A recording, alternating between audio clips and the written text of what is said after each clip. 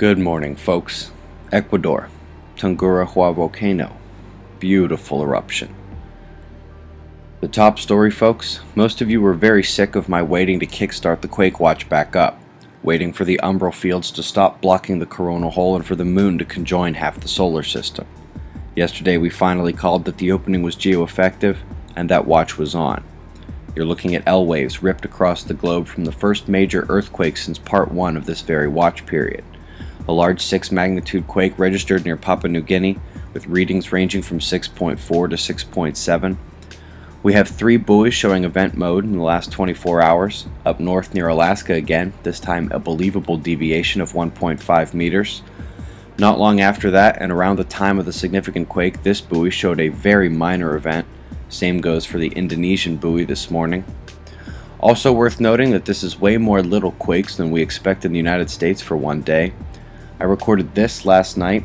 Powerful low of Triton sat about half a state west of Chicago, while the southern portion was upstaging the northern snowstorm with wild wind, power outages, hailstorms.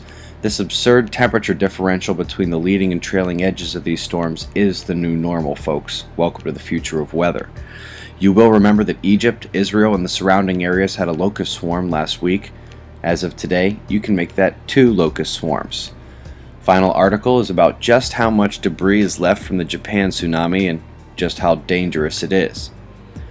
Coming to space weather, this is Comet Pan-STARRS, visible in stereo B HI1 and in the sunset skies across the planet.